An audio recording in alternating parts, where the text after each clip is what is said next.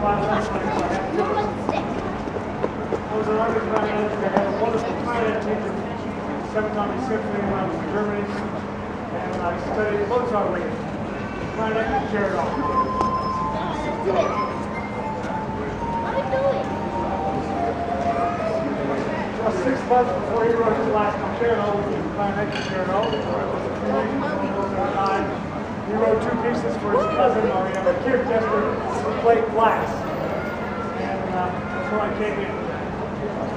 I had the I had the uh, music on my music stand. It took me one year and 28 classes to arrange the glasses could play.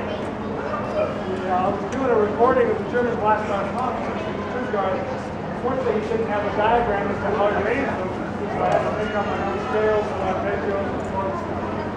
So, uh, because glasses are so much bigger that cheese out of the keyboard. You just can't. You can't set up a piano and use it anymore. You gotta make the board all about